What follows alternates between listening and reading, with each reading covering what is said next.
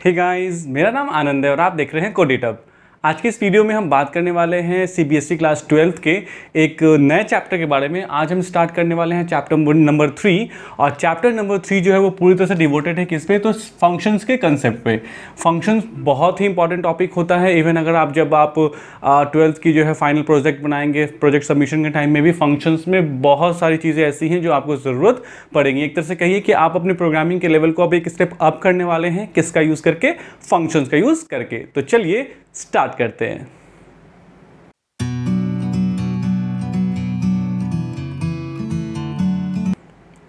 तो सबसे पहले हमें फ़ंक्शन में ये जानना होगा कि फ़ंक्शंस एग्जैक्टली exactly होते क्या हैं। तो देखिए फ़ंक्शंस जो होते हैं बेसिकली एक सब प्रोग्राम्स होते हैं। यानी कि हम फ़ंक्शन के बारे में सबसे पहला लाइन लिख सकते हैं कि फ़ंक्शंस आर सब प्रोग्राम्स तो आप जानते हैं सब प्रोग्राम्स का मतलब क्या होता है? सब प्रोग्राम्स का मतलब होता है पार्ट ऑफ़ द प्रोग्राम मतलब ये पूरा प्रोग्राम नहीं होता है, बल्कि ये क्या होते हैं? पार्ट ऑफ़ द प्रोग्राम होते हैं। यानी किसी भी एक प्रोग्राम के पार्ट होते हैं, ठीक है? दैट कैरीज आउट जो करते हैं that carries out some well defined task यानी कुछ खास तरह के काम को सम वेल डिफाइंड टास्क इसका मतलब ये हुआ कि फ़ंक्शंस जो होते हैं, वो सब प्रोग्राम्स होते हैं, यानी कि पार्ट ऑफ़ द प्रोग्राम्स होते हैं, ठीक है?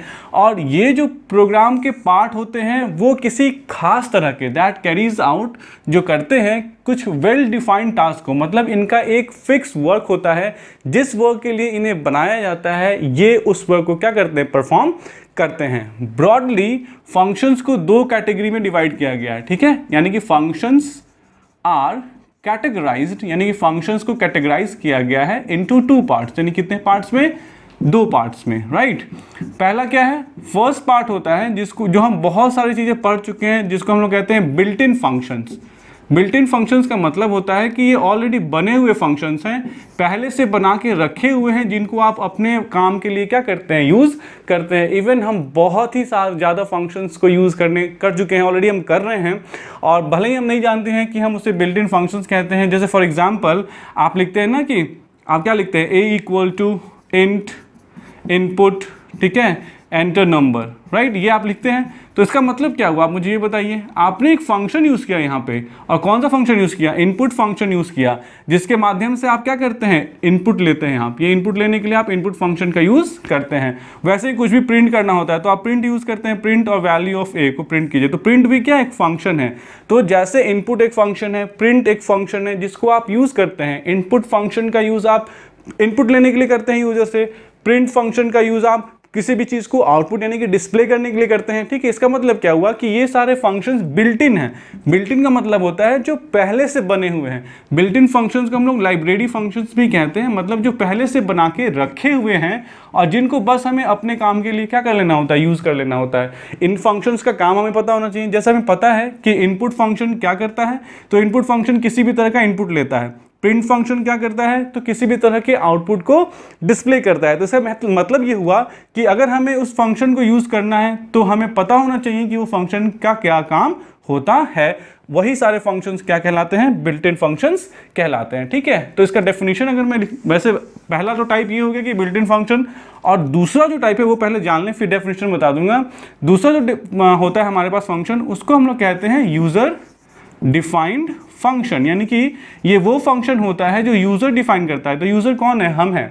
एज अ यूज़र आप देखिए तो हम प्रोग्रामर हैं एग्जैक्टली ठीक है? हम प्रोग्रामिंग करते हैं, लेकिन यूज़र भी हम ही हैं, इसीलिए, क्योंकि अभी जो हम कोड लिखते हैं, वो खुद के लिए लिखते हैं। हालाँकि ये बात अलग है कि जब हम प्रोग्रामर बन जाएँगे तो यूज़र डिफाइंड फ़ंक्शन का मतलब हुआ सिर्फ़ ये कि जो फ़ंक्शन हम डिफाइन करेंगे। यानी कि जो डिफाइन कौन करता है? तो डिफाइंड बाई यूज़र ठीक है? डिफाइंड बाय यूज़र यानी वो ये वो फ़ंक्शन होते हैं जो यूज़र डिफाइन कर, करता है अकॉर्डिंग टू द रिक्वायरमेंट जैसी रिक्वायरमेंट हो उसके हिसाब से अकॉर्डिंग टू रिक्वायरमेंट ठीक है?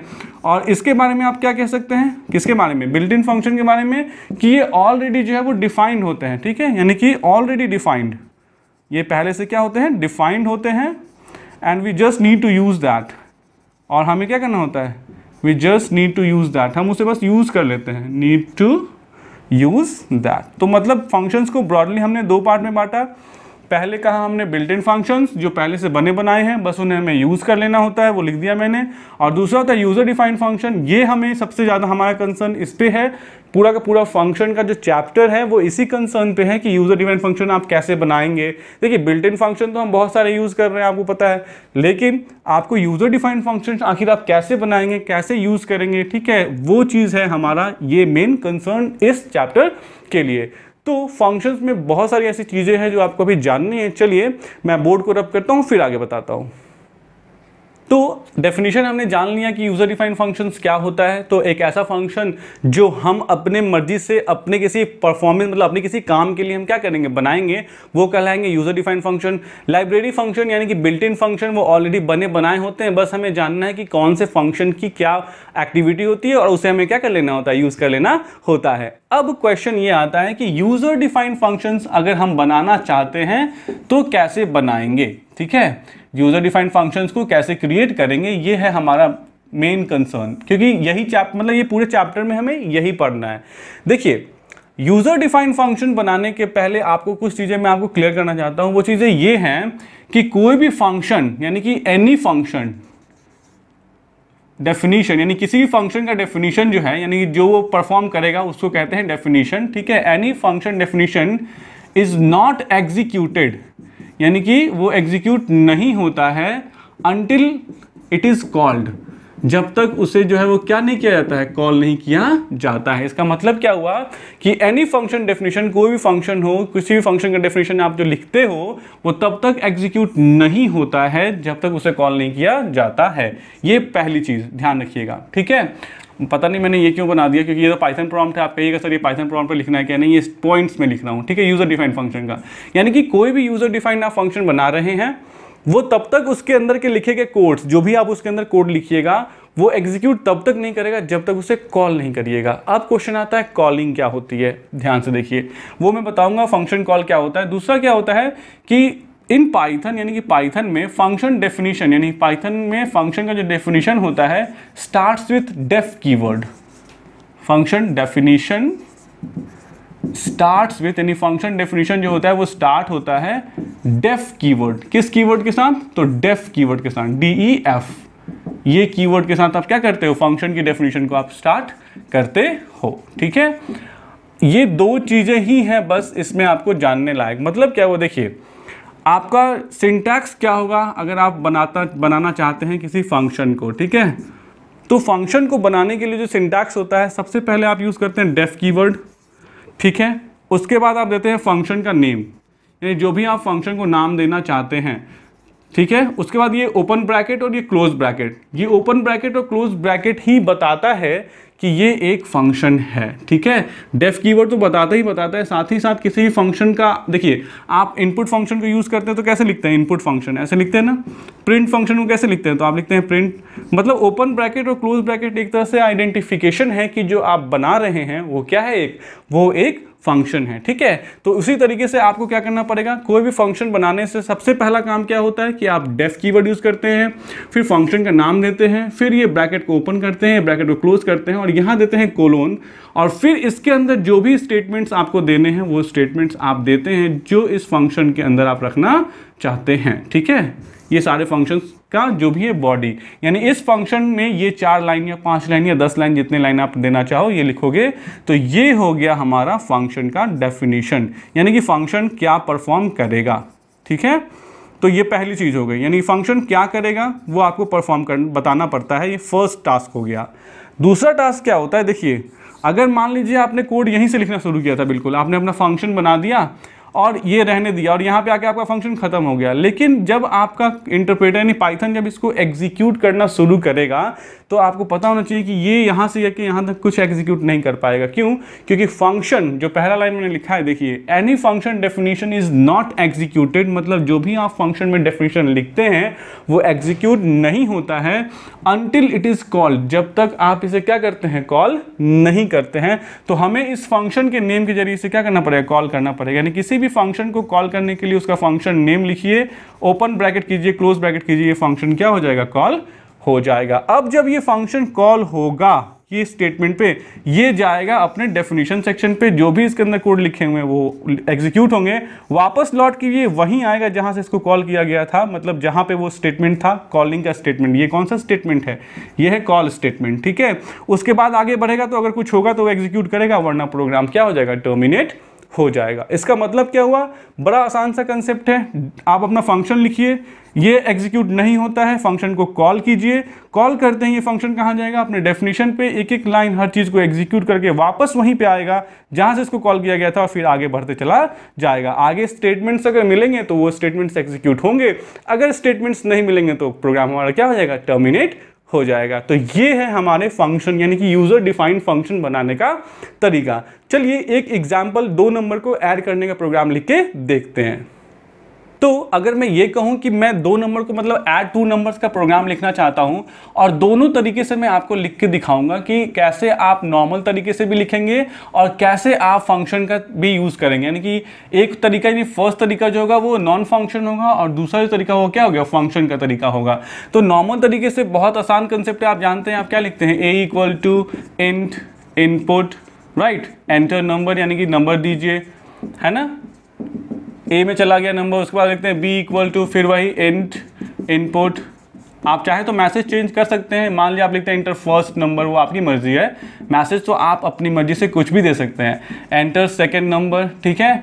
ए और बी आ गया। अब आप लिखते हैं C equal to what A plus B और आप यहाँ प्रिंट कर देते हैं क्या? प्रिंट डबल कोट्स में एक मैसेज दे देते हैं एडिशन इक्वल टू ठीक है? और कॉमा किसकी वैल्यू सी की वैल्यू तो ये एक प्रोग्राम है जो दो नंबर को ऐड करता है, लेकिन इसमें फ़ंक्शंस का नामो निशान कहीं तक नहीं है। अब इसी ठीक प्रोग्राम को हम क्या करने वाले हैं? फ़ंक्शंस में कन्वर्ट करने वाले हैं। तो वो कैसे करेंगे? तो देखिए, करते क्या है? ध्यान से देखिएगा। सबसे पहला, जैसे ही आपका कोड स्टार्ट होगा, यानी कि आपकी जो कोडिंग विंडो होगी स्क्रीन जो होगी, उसमें आप सबसे पहला लाइन लिखेंगे क्या? डेफ ठीक है? तो डेफ का मतलब क्या हुआ कि आप एक फ़ंक्शन लिखने जा रहे हैं।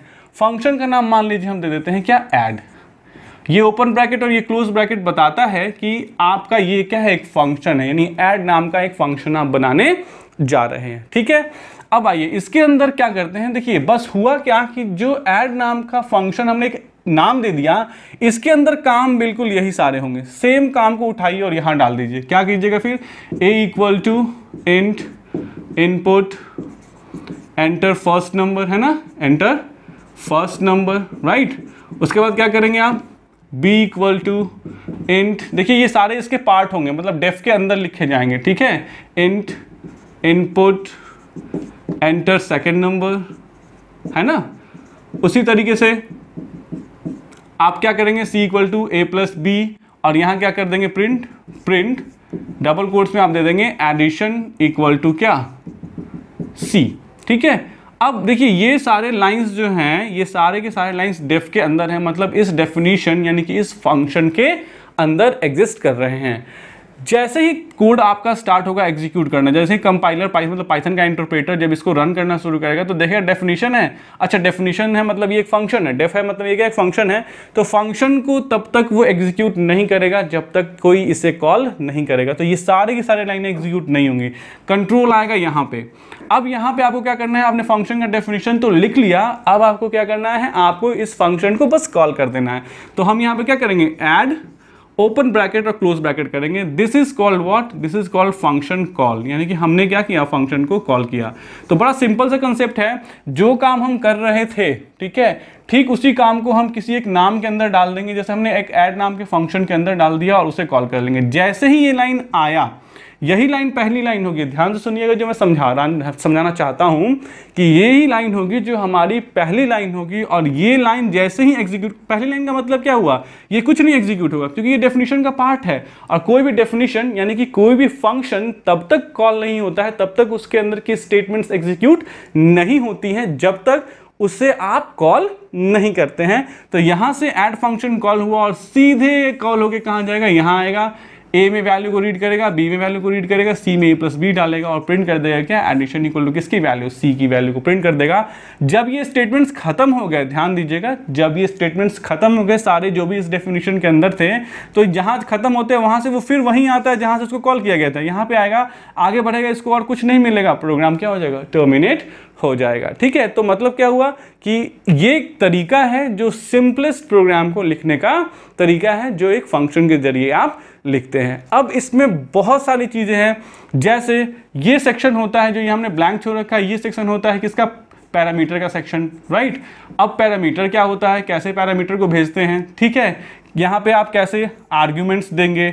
मतलब आर्ग्यूमेंट्स का सेक्शन क्या होता है? कैसे हम आर्ग्यूमेंट्स देते हैं? बहुत सारे छोटे छोटे ऐसे कंसेप्ट हैं जो आपको फ़ंक्शंस के अंदर जानने हैं। अगर मैं इसी वीडियो में बनाऊँगा तो वीडियो काफ़ी लंबी हो जाएगी और इसलिए ये सब चीज़ें हम नेक्स्ट वीडियो में जानेंगे। तो आई होप आपको ये समझ में आ गया होगा कि फ़ंक्शंस क्या होते हैं और कैसे फ़ंक्शंस को लिखा जाता है। आप प्रैक्टिस कीजिए। जैसे मैंने ऐड कर लिखा, आप कोई भी प्रोग्राम लिख सकते हैं इसके ज़रिए। जैसे कि दो नंबर को सम करने का लिखा मैंने प्रोग्राम आप चाहें तो लिख सकते हैं कि कोई नंबर जो है वो ऑड है या इवन है। चलिए मैं वो एक बता ही देता हूँ। अगर मैं बताना चाहूँ तो बड़ा आसान सा कंसेप्ट है।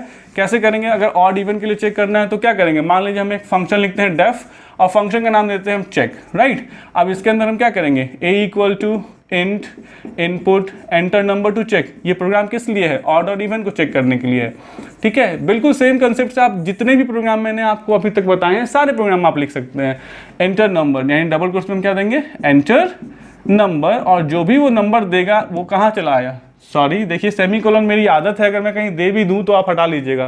क्योंकि मेरे पास सी सी प्लस प्लस और जावा के भी ट्यूटोरियल्स हैं तो होता क्या है, मैं गलती से कभी कभी सेमी कॉलन्स डाल देता हूँ, वो मत डालिएगा। आप पाइथन में सेमी कॉलन्स नहीं होते हैं लास्ट में। ठीक है? हालाँकि, एक चीज़ ये भी है कि अगर आप सेमी कॉलन डाल भी देते हैं तो भी ये गलत नहीं होगा प्रोग्राम आपका एग्जीक्यूट करेगा। वो अलग बात है, लेकिन पाइथन के लास्ट में सेमिकोलॉन्स नहीं होते हैं। अब देखिए, यहाँ पर आपने इंटर नंबर पूछा, उसको ए में डाल दिया, यहाँ पर चेक कर लीजिए कि अगर ए मॉडलस टू जो है वो क्या है? इक्वल है किसके? ज़ीरो के। तो क्या प्रिंट कर दीजिए? इवन है ना? और अदरवाइज़ क्या प्रिंट कर दीजिए? एल्स में जाइए और क्या प्रिंट कर दीजिए? प्रिंट वॉट ऑड खत्म। राइट तो बस, अब देखिए, यहाँ से लेके यहाँ तक एग्जीक्यूट होगा? नहीं। आपने प्रोग्राम को सबसे ऊपर लिखा। किसी भी प्रोग्राम को, ये डेफिनेशन सेक्शन को आपने सबसे ऊपर लिखा, लेकिन फिर भी ये एग्जीक्यूट नहीं होगा। फिर से वही बात, क्यों? क्योंकि कोई भी फ़ंक्शन तब तक एग्जीक्यूट नहीं करता है, जब तक आप उससे कॉल नहीं करते हैं। तो बस, इसके इसके नाम से उसको कॉल कर लीजिए। तो यहाँ पे चेक फ़ंक्शन को क्या कर लीजिए आप? कॉल कर लीजिए। जैसे ही ये लाइन आएगा, ये सीधे जाएगा अपने डेफिनेशन सेक्शन पे। ए की वैल्यू लेगा चेक करेगा ऑड है या इवन है। अगर दो से कट गया तो इवन है, नहीं तो ऑड प्रिंट करके जब लाइन खत्म होता है मतलब जब इसका एग्जीक्यूशन खत्म होता है, फिर से लौट के ये वहीं आता है जहाँ से इसे कॉल किया गया था और यहाँ पे आके आगे देखा, कुछ है ही नहीं तो प्रोग्राम हमारा क्या हो गया? टर्मिनेट हो गया। और तब तक इसने बता दिया कि वो नंबर ऑड था या इवन था। इसके बेस पे आप जितने भी प्रोग्राम्स हैं, चाहे वो लूपिंग के प्रोग्राम्स मैंने बताए हों, ठीक है? चाहे वो लिस्ट के प्रोग्राम्स बताए हों, चाहे डिक्शनरी के, चाहे ट्यूपल्स के, जितने भी प्रोग्राम जो इलेवंथ क्लास के प्ले में हैं, वो सारे प्रोग्राम्स आप इनके ज़रिए कर सकते हैं। तो आप प्रैक्टिस कीजिए। और तब तक नेक्स्ट वीडियो में मैं आपके लेके आऊँगा कि पैरामीटराइज्ड फ़ंक्शंस आप कैसे बनाएँगे, कैसे पैरामीटर को पास करेंगे पैरामीटर्स में ही बहुत सारी चीज़ें होती हैं, वो सब हम मैं नेक्स्ट वीडियो में आपको बताऊँगा। तो आई होप आपको ये वीडियो पसंद आई होगी। अगर आई है तो प्लीज़ लाइक सब्सक्राइब और शेयर कीजिए। Thanks for watching the video thanks